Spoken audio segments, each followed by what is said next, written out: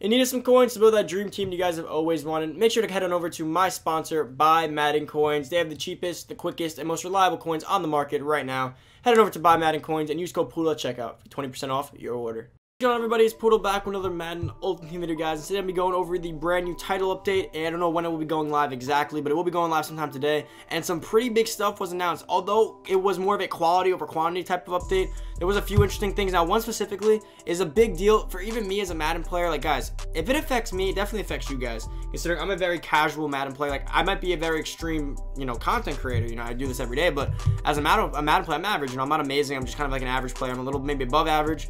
But the point is, it affects me and I'm probably I probably play no more than all you guys do. So I know this is a big impact. Now, guys, if you guys don't know what a title update, a title update is just like a patch. Like I don't mean I don't want to call it a patch.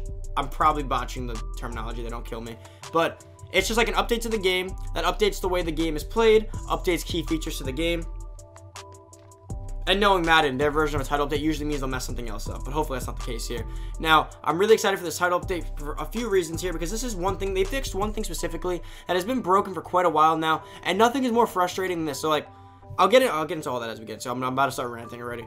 Alright, guys, before we get into the video, make sure to go down below, hit that subscribe button, turn that notification bell, boys, come join the family. We're getting, we're grinding to 20, 20 quay. We're grinding to 20k. We hit 17k yesterday, that was pretty awesome. Next big milestone is 20K. Hopefully by the end of February we can hit it. Keep on growing in the family. We'll get there as soon as possible, guys. And since it is 1030, for all you Noti Gang guys, comment down below Noti Gang if you're here in the morning. And make sure to like the video. Can we get 250 likes on this title update video? That'd be awesome.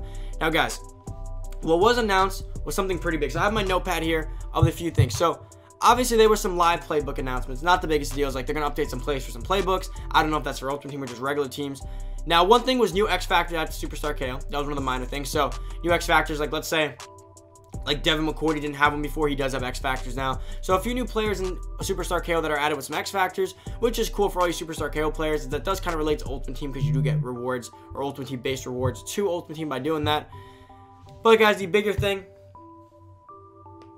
the biggest thing they announced was they added something to affect the run game.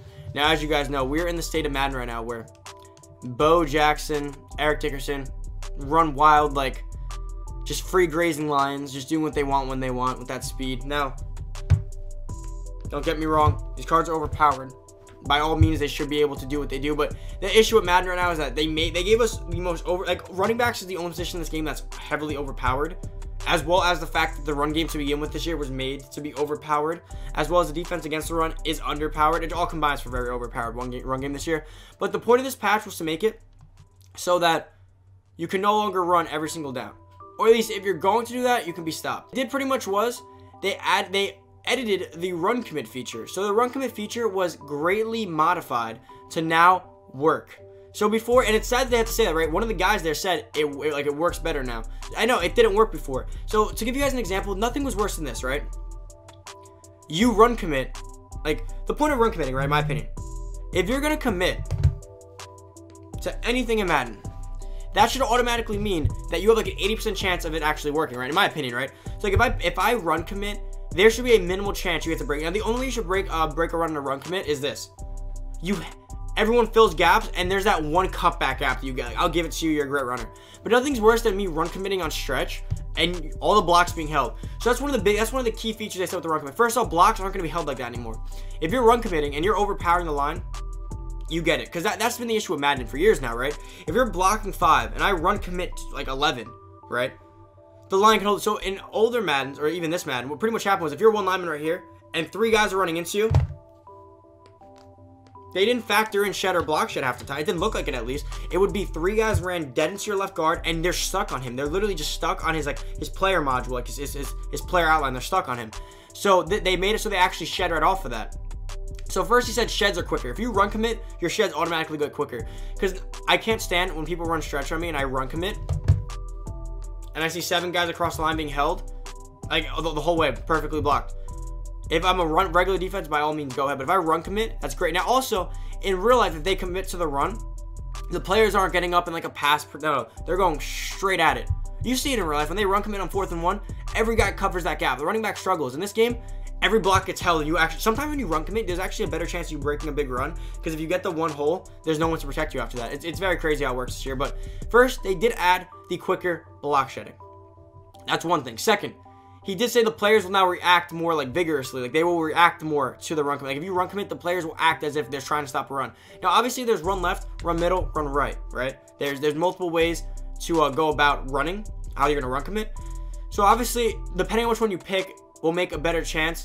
So obviously, right can cover the middle a little bit, and you run to the right, left cover the left, anything to the left. Middle is going to screw up the middle. But with the way Madden running backs are this year, middle hasn't really worked too well because you can just cut that back. Sometimes considering how fast running backs are. Hopefully this fills it. Also, he said they're smarter with gaps. So if you guys know how this works, so let's say you run commit, right? And there's like the A gap, the B gap. Let's just call it one, two, three, four, five, right? Let's say left tackle, left guard, center, right guard, right tackle. So what happened? What would happen essentially is you'd call the run commit.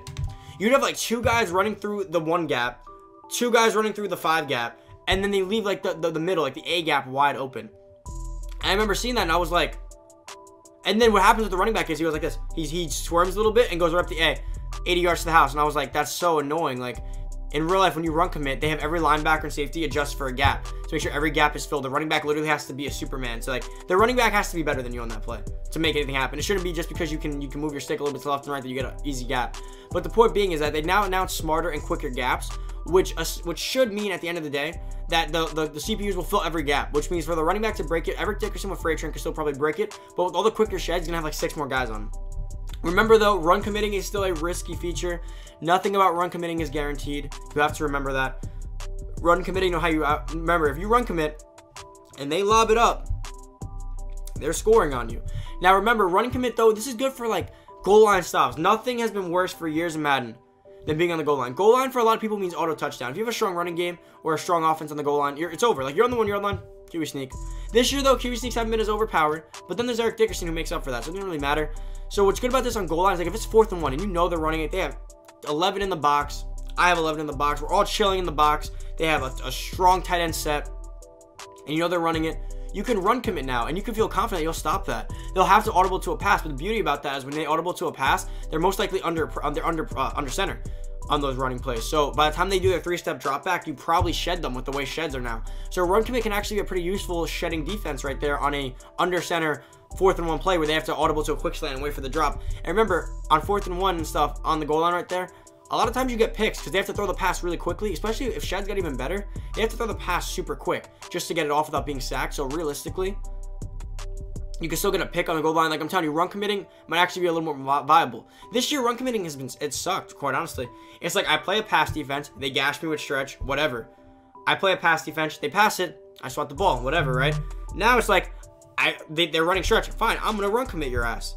They still gash me with stretch. They're like, okay, I'm gonna run commit you again. That's how I'm gonna get it. Now they pass it. Now it's touchdown, right? At least the other way, I got killed by the run, but at least my pass defense is pretty solid. This way, I, I, I can't do anything. I'm telling you guys, run committing has been so broken this year. I run commit, I get one guy through the gap. The one guy plays the gap. Eric Dickerson freight train breaks it, gone to the house. I run commit.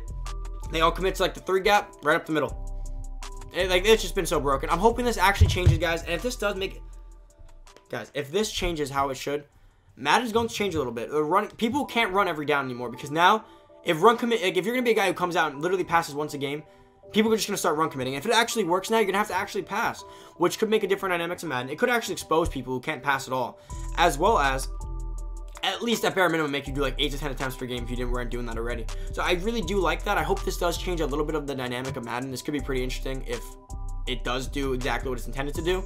And again, I've burst people come out first, second, third, fourth down, run, run, run, run, run. And on fourth and short, you can run commit. Like, obviously, it's a risk, guys. So I do not advise you run commit every play. Like, I don't advise that ever. It is still going to be a very risky proposition. Smart Madden players, such as like how I would play. If I see you're gonna, if I see you in the box run committing, I'm, I'm, I'm shrieking one guy, I'm max protecting, and I'm dragging someone. Like, I'm gonna have the options. People still can panic. Don't worry. They can still panic. They still can get pressure quickly. They might get a bad throw. But more than likely, I'm going to be able to go against that. But people who only know how to run aren't going to be able to go against that. And if you stop them early enough in the game, remember, people who run, they have to play ahead and control the clock. If you stop them on the first two drives run committing before they can adjust, you're ahead of them now. Your pass attack might be killing them. That's what's been that's what sucked all year about running. People would get ahead with Eric Dickerson and they would just control the clock, control the clock, control the clock, run, run, run. And you're just so frustrated because no matter how many times you score, they score back. remember if you can run commit now and actually stop them on that on that crucial first or that crucial fourth and one in the first game or that third and long that they're gonna run on anyways, if you can stop them on those few plays, you might go up on them. And when you go up, people they have to they have to pass. Now that's been the issue all year. Guys who run only have went up initially and they stay up with the run game. So guys, that is that for the video. It was kind of long, a lot to talk about the title update. I hope I didn't drag that a little bit too much for you guys. I, I had a lot to say. Wasn't an EA rant, was more of a run game rant. I hope this does change Madden, guys. I hope this changes Madden for the rest of the year. I hope this does help a little bit. I love to run, but I also like to pass. That, that, that's a part. That's a part of Madden. Like that's a part of the game. Hopefully, it changes some stuff, guys. Thank you so much for watching. If you're new to the channel, make sure to hit that subscribe button, turn on noty bell, boys. Come join the family. Comment down below, and can we get this 1030 vid? 250 likes. That'd be greatly appreciated, guys. I'm out. See you guys next video. Peace.